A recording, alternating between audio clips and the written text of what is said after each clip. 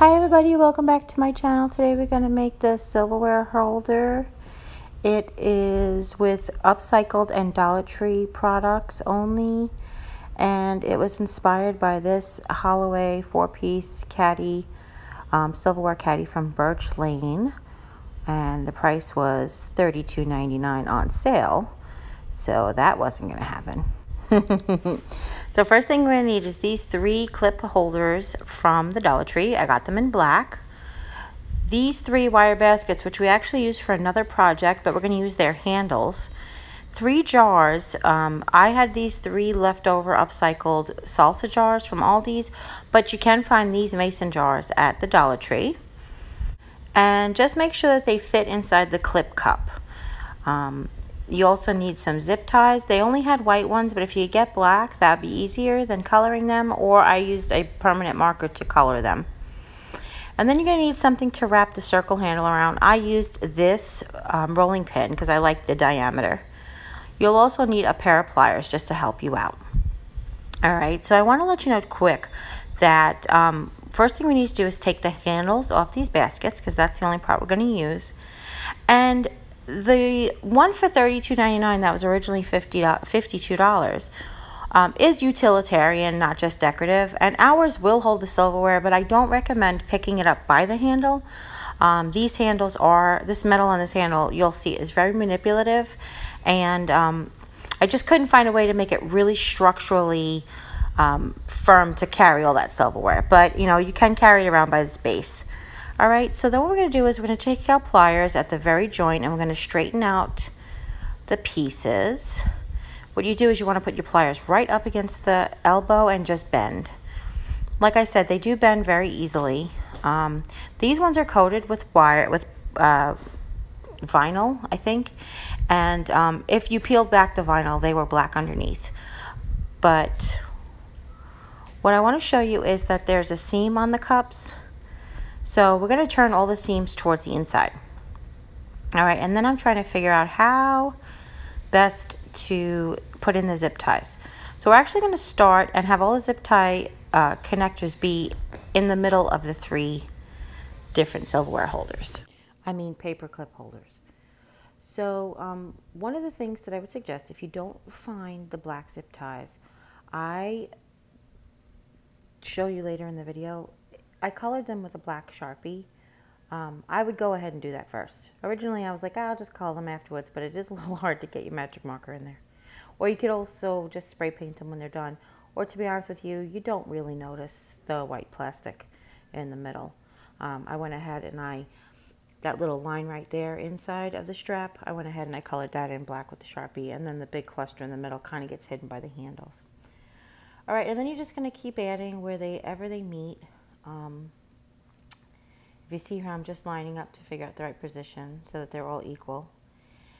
And the one thing that I will tell you is you want the zip tie to be located in the same place for each holder so that it's balanced. And if you see here, I'm just under the first row and I've skipped one hole. So what you basically do is you come in from the outside along the top row, skip one hole and go back out the outside. Make sure you go through your second container the same way. You basically want to go back through the second container at the top row, skip one hole and come back out.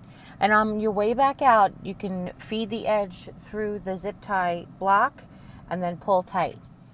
And the problem that I'm having right here that I'm resolving is it is important that your zip tie doesn't get twisted so that it does ratchet. Um, you want it to be flat across the, the entire way around. You want to make sure that it doesn't get twisted because then you'll have twisties between your um, things and they won't sit close together. So if you saw it just there, I zoomed into like just feed it through the zip tie and pull tight. This is the last, actually it's the second to last one, but I'm attaching the last uh, container. All right, and I just check for levelness, check that they're laying flat. Um, your that your zip ties are in the proper position. And what I did for sure is I laid it flat before I added, I connected the last two pieces, all right? And as you see here, I'm using the pliers to um, assist me in pulling it through. This happens sometimes when the, the hole that you choose could be a little smaller. The zip tie still fits through. Sometimes you just need assistance. If you have a good grip with good fingertips, then you go ahead and pull. But um, it's okay to go ahead and use your pliers to help out, okay? So that's how it looks with the three of them connected. And then I'm coloring in the insides of the containers wherever their white zip tie is. But again, if you pre-color your zip ties or if you use black ones, this step is not necessary. And I'm just trying to knock down some of the whiteness. Um, like I've said before, once I add the middle, I realize you really don't see the whiteness all that much. Um, I mean the holder, but you go ahead and whatever you're comfortable doing. I do personally wish that I would have went back and colored them or held out for black zip ties. All right, so now what you're going to do is you're going to take the one handle and you're going to, I measured one and a quarter inches and then I bent because you want the piece after it's bent to be one and a half inches and it won't bend sharp on a dime. So you measure one and a quarter inches, you put your pliers at the one and a quarter inch mark and you bend at a, um, I figured the angle out yesterday. I don't know. You bend it at a tri, you're going to make a triangle. So, um, and then you do the same thing, measure one and a quarter inches, put your pliers there, and then bend at a triangle. Okay? So after you get your three angles bent, you go ahead and manipulate it with your fingers into the shape of a triangle. And basically what this is going to do is this triangle is going to insert up underneath the three baskets and it's going to catch on the zip ties and um, if the triangle is going to be bigger than the space so it will hold up the three the three baskets all right then you want to do is you want to do um, a fourth bend about halfway through the middle of the triangle so that the um, piece that comes straight up to connect to the handle um, comes straight up through the middle of the triangle. Okay, so you see here, we went underneath and we came through and make sure it's in like a nice straight steady area. If you have where it doesn't really look like it's sitting right, you can turn it, turn the triangle maybe it'll sit right in a um, in a different location or, or with the sides against different baskets. And then um, if your stick doesn't lay straight, just leave that until the end. Once we get this zip tied in, again, because it is so bendy, you can go ahead and manipulate that. All right, so what we're going to do now is we're going to add more zip ties. we're going to do the same thing where we went um, from underneath, but in the inside of the three triangles. Why do I keep saying that?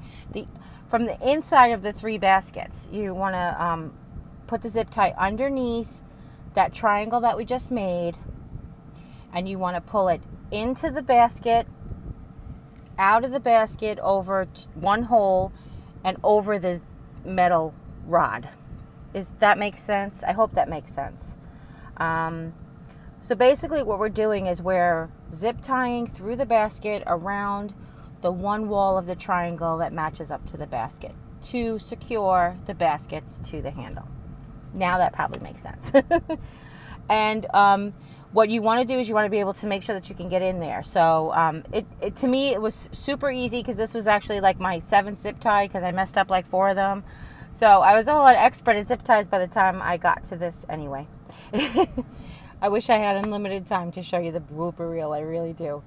But um, one thing that's really important that you guys need to know is that I found out that when this holder was full, when I'm finished and it's full of the three jars that have all the silverware in it, the center support is not really um, strong enough to hold a heavy thing. I mean, obviously, it's a very manipulative piece of metal, so you could probably have imagined that. The center support will be um, to carry it when it's empty or merely for decorative purposes. All right. So what's happening here, you could see that, um, remember how I said that the end of the zip tie needs to be um, below the part of the upright that's going across. Um, it was just moving on me. So just make sure again that you have um, from the bottom to the top will be the butt end of the zip tie, um, then the metal thing, and then the zip tie will come back around and fasten to the underneath. And now we're going to cut off the ends of the zip ties that we just used to hold the center support onto the baskets. And then I'm also going to go in and um, color those black as well. And again, I went, I turned it upside down to start coloring the underneath black, but I realized that you really can't see it. It's just what's inside the basket what's inside those round cups is what you see the most. So I just went ahead and colored those. But again, third time's a charm. I recommend you use that black marker and you color them first. It's probably the easiest thing to do. And you can see here, now that it's all fastened, you can go ahead and adjust um, that center rod for level. Now we're going to take the second handle, and originally I said they would use three handles, but we ended up only using two. Um, but we're still using the three baskets for another DIY, so that's not going to waste. Now I'm taking the pliers and I'm slowly pinching around and trying to bend um, a perfect circle. I don't know that you can really bend a perfect circle, but I'm trying to give it some, um, a head start basically. And I'm going to use this rolling pin. As you can see, it's just me pulling the ends really tight to kind of, look how pretty that circle came out. You guys think I'm so talented, but you guys just saw me do that. That took zero skill. Um, it's just a little patience.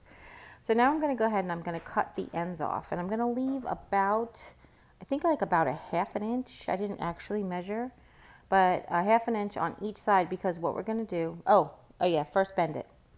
Sorry guys. I am so sorry. So you hold the pliers at where you want to make the joint where the two um, the two circle ends cross over and you bend it at a um, 45 degree angle. Okay a 90 degree angle, 90 degree, I'm sorry. And then um, we're going to end up cutting, leaving about uh, half an inch. Uh, what we're going to do is we're going to create two little loop ends, just like we're on the original basket handle, to connect to each other and then to connect to the upright. All right, so it just took a minute. Uh, most pliers do have sort of a wire cutter down in their joint. Um, what I did was I grabbed where I wanted it to go, made sure I cut through the plastic, I spun the metal around to score it. My dad taught me this technique. And then eventually I scored it enough that I was able to bend it back and forth to break it. So if you see here, there you go. And it snaps right off. And they could be a little bit of sharp edges there. And if, you if you're concerned about that, you know, you can always cover them with tape. But um, to me, it's not going to be someplace where you're going to grab it anyway.